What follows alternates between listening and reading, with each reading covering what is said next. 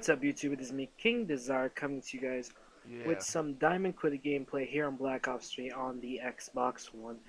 And I kind of decided to do this little episodic series for you guys of showing you guys how each of the Diamond SMGs look, and along with some sick gameplay to go with them. So each of the gameplays you guys are going to see, there's a total of six gameplays, five or six gameplays of every SMG in um, Black Ops 3. They're all going to be Diamond, and I'm going to be trying to average between Ooh, the 3 and 5 KD with them. That's the goal. We're going to be playing Team. Deathmatch for this particular um, almost filled up. little series that we're doing. Like I said, it's only going to be a few episodes long. may have to and It's only going to show off the Diamond SMGs. I am considering doing this for other They weapon sets uh, as well if I decide to get any other weapon sets Diamond in uh, Black Ops 3, which I'll keep you guys posted as time goes by and let you guys know if I'm going to do it or not. But I'm really considering it because this, for one, this was a very fun challenge for me to do, and this was very um, interesting in terms of uh, the game itself. I've never really grinded for a camo.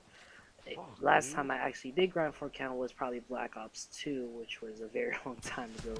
And of course, it was on the 360.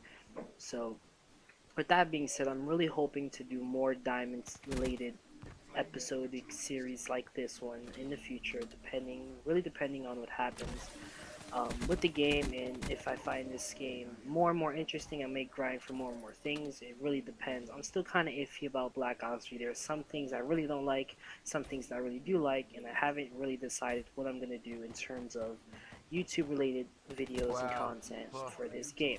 With that being said, guys, I definitely like you guys' feedback on this little series I started. The goal is 20 likes on each of the episodes. That is the ultimate goal. Um, I'm really hoping we can get that done. After this video goes live, there's going to be an, either one or two more videos that are going to be right behind it of me showing you guys the other Diamond SMGs. I figure I'll show you guys the Kuda first because the Kuda, in my personal opinion, is one of the best looking Diamond SMGs in Black Ops 3. It looks completely amazing. It's just pure awesomeness in every way. And you can actually really see the camo clearly on the Kuda than you can on the other SMGs. The other SMGs do look nice, but not as well as the Kuda looks. Besides that, the Kuda is a very good and very powerful um, submachine gun with very moderate recoil, and it works really good at medium to short range. It even can get people long range if you have long barrel attached. It is overall a beast of an SMG.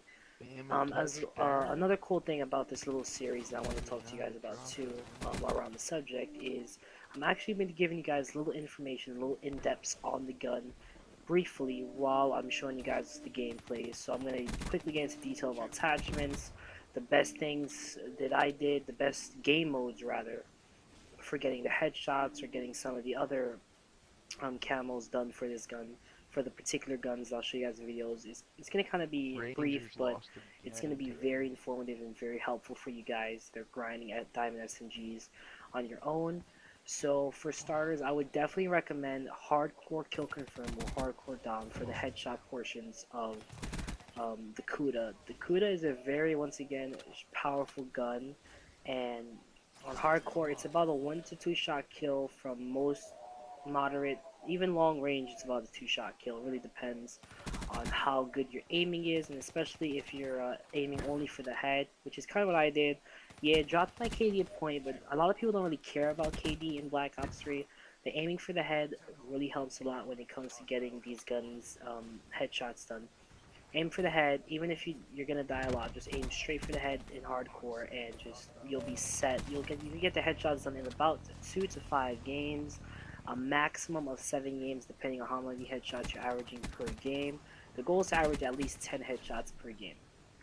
10, 10 to 20 headshots per game will get you your headshots within a very fast amount of time. And it doesn't really take much time to get all the headshots done at all. It took me about 30 minutes per gun, um, which is pretty fast. I was just, like I said, slaying going for those headshots, and it really benefited me uh, in terms of getting the camo. Now, the recommended attachments that I would, you know, tell you guys to use would probably be Red Dot, Foregrip, and Quick Draw. By far, some of the best attachments in the game for the Kuda, and it's what I use all the time. Even after I got a diamond, I still use the same setup because it's beautiful.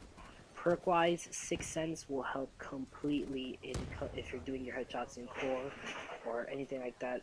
Definitely hardcore. I mean, definitely Six Sense is what you want to go with, guys.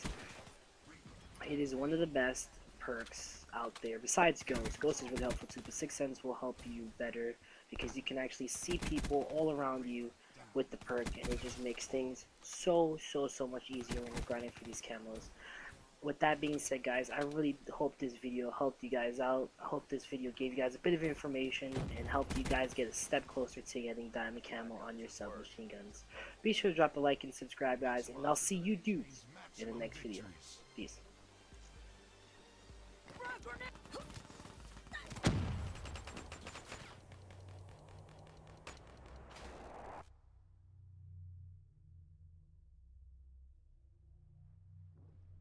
be easy realizing you're